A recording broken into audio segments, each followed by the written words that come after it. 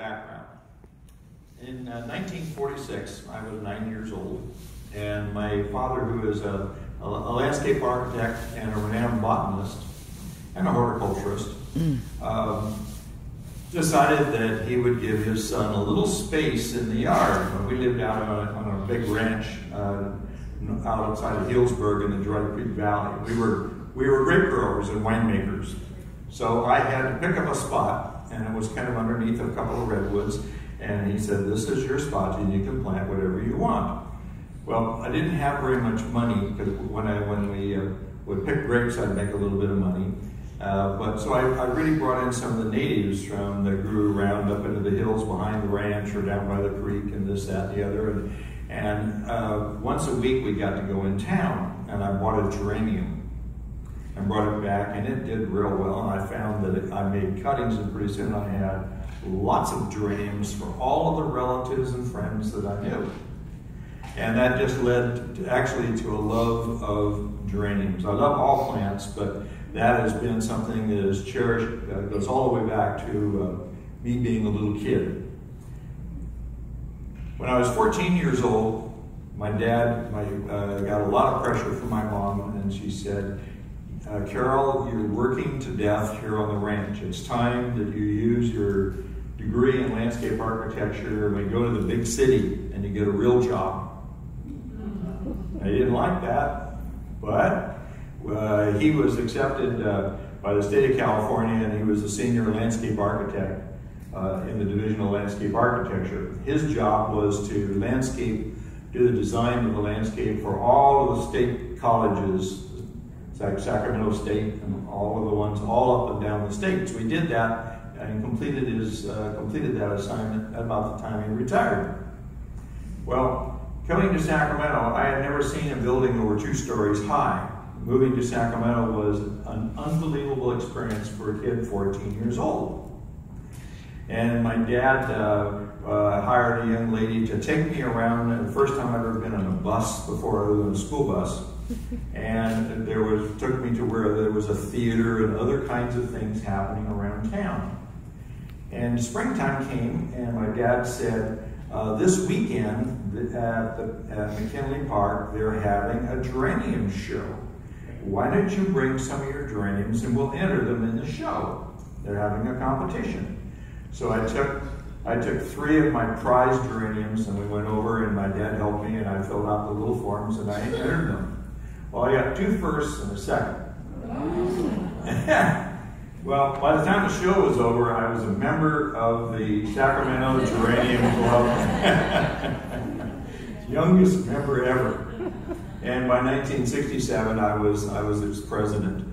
But uh, it was a wonderful thing, and all of this time I, I just loved geraniums. And as I grew older, I found that uh, I could get plants from more geraniums from different places around the world.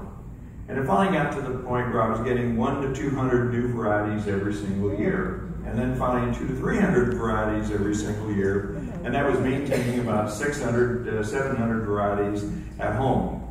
And most of the varieties that I collected were what we call miniatures or dwarf varieties, meaning they stayed small. If they're small, that means you can have many more varieties. and so my greenhouse was, was packed. And my greenhouse is different than any greenhouse you ever saw. I have benches in my greenhouse, and there are plants on the benches. And then on the fronts of the benches, I have a device called a pot hanger and a pot, a clay pot will clip right into it. So I can use the fronts of the benches. Then I decided if I ran a little close up about 14 inches high and put more of the pot latches on there, I could have plants above the plants that were on the bench. Then I realized that all that space above there to the ceiling rafters was not being used. So I had hangers coming down that came down within about 15 inches of the plants that were in the middle, and so there was another level. Well, the, the sun worshippers are on the top. The ones that wanted to have a little bit of, a little bit more shade and comfort were in the middle, and the real shady characters were on the bench. So that way I could have several, well, like I said, six, seven hundred varieties in, in, uh, in my greenhouse. Well, some of the things that I did with, with my geraniums, I would go out and talk to them. I learned how at a very early age how to speak geranium. And that, that just absolutely resolved a lot of issues. When you got a new geranium, you take the plant in, introduce it to everybody, and you'd ask the new geranium, where would you like to be? And at first they weren't sure, so you try them there, and they did, you could tell they didn't like it, so you'd move them over here, and then pretty soon, big smiley face, and the leaves, well, everybody was happy when they were in bloom. All this was wonderful and great until four years ago. And finally, it became impossible for me to import geraniums from the other countries. The U.S. Department of Agriculture had decided that the geranium plant was a perfect host to the potato virus from Europe, and they didn't want to lose all the potatoes. And rather than listen to, uh, to us in the business of growing geraniums, that, that we could spray all these critters before they came over, and it would all be just wonderful, they just said no. Well, I had a, I had a source at that point, because that, uh, that action actually goes back about 10 years ago. But I had a source where in, in uh, Canada, where the plants would all go to Canada for a year, and then I could buy from Canada, legally. And so finally she got older, and she finally said, Don, I can't do this anymore, I'm retiring. So poof, what do I do now? Well, flowers and photography have always been uh, kind of go hand in, hand in hand with me. And I started thinking about, I've always wanted to grow cacti and succulents. And then I went, why not? So I decided, I made an announcement to some of my closest friends. I'm getting rid of all my geraniums and I'm going, so I gave them all to the club and let them sell them and keep the money. That May night, I had all my tables of the river were available for cacti. Within 30 days, I had a collection of 240 species of cacti and succulents and space for many more. And uh, it was fabulous because, as you'll see when we go through the photography, cacti and succulents have this magnificent beauty about them that is just unbelievable. And in many cases, the flowers are only open for a part of the day. And in some cases, they're only open from 3.30 in the morning to 5.45. and that's not the normal time that I'm doing anything outside of the bed. But uh, nevertheless, when you're, when you're an advocate like I am, you get the camera and you go out there and uh, I have special lights in the greenhouse that I can turn on and of course, these flowers aren't going to close that quick. I can get them. And, and so I'll take some of these bizarre shots. But the cacti was, was absolutely a novelty. What's happening to me now is devastating with the drought.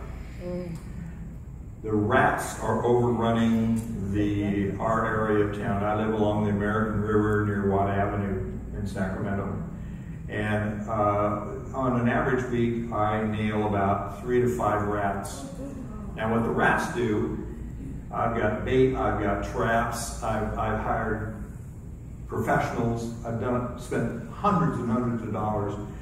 The rats will come in and they will eat the choice bits, which are all of the flower buds or flowers. And then certain varieties that I have, I have a complete collection of one species of succulent from Africa. It, it took me forever pulling strings and everything else to get all 28 of the species of the entire family. Wow. I think I'm the only person in the United States that probably has all 28 of them. That was like chocolate candy for the rats. Oh. So they, all of those plants are hanging from the ceiling by wires, and uh, so they're, they're safe. They're safe. But I didn't bring any plants today because they've been ravaged. All of the flower buds that I had two days ago are all gone. I can't raise tomatoes anymore. And my greenhouse, um, they somehow still get in there. They'll go to the part, the effort where they'll dig eight inches down underneath the foundation and back up into the greenhouse. To, and so I'm constantly plugging funnels. Um, I don't know what there is. I, I, and somebody said, well, get a cat. Well, I'm going to put a cat in there because the cat, I can see the cat racing down the bench after, after, after the rats. And I've got $12,000 worth of succulents that have just been torn all to hell. So that wasn't, that wasn't, uh, wasn't a good idea. So I'm kind of going back into geraniums for a while until the rat's cooler heals. But I will, at the very slightest of a drop of a pin, I would grab a cactus again there's, there's some that I'm going to certainly grow. There's some interesting things about cacti. Many of the ones we buy grow outside the United States, and therefore they are frost tender. But most all of the, the species that grow inside the United States, from, from uh, Colorado, New Mexico, Arizona, California, and uh, are tougher than nails. And they can take temperatures down to 20, 30 below zero. And they'll do wonderful in your yard and they'll take the heat and say, Give me more. And they'll bloom their hearts out. A member of our, of our club, the Carmichael Geranium Society, his entire yard, front yard, backyard, side, both side yards, it's all cacti. He very seldom ever waters. Once in a while, in his bigger cacti, he has to have some help, uh, and they bring, come in with a huge crane and reach all the way over to the backyard because this cacti is now 25 feet high. It's an opuntia and it has the big paddle-like leaves. And each of these leaves probably weighs 35 to 40 pounds. Yeah. And what he didn't want was get it to a point where it falls over and kills the neighbor. so he'll, he'll, about every two years, they've got big investment coming in and have the professionals come in and, and saw out the, and prune back the cacti. There's growing cacti, there's a hazard involved as you can realize. And this gentleman, since he has some of the big barrel cactus that are just huge, they have the big golden spines that are about this long. And if you want to kill something, just throw it on top of the cactus. Well, uh, here, here, Norm goes out into his yard. He is out there every day because he has this love for cacti as I have for geraniums. So he's out there and he'll be bending over doing something and he'll back up. then he'll go in the house and his wife will, with a pair of tweezers and a pair of pliers, pull out the thorns that he couldn't pull by hand. Once in a while, he'll trip. And this is where the real big owie comes in. And uh, there's four or five times now in, in, in the, just the four years that I've known him where uh, he'll come to the meeting and he's like that, and we'll say, again, Norm, yeah, this was a bad one. Uh, I had over 1,700 needles in me that had to be taken out in the emergency room.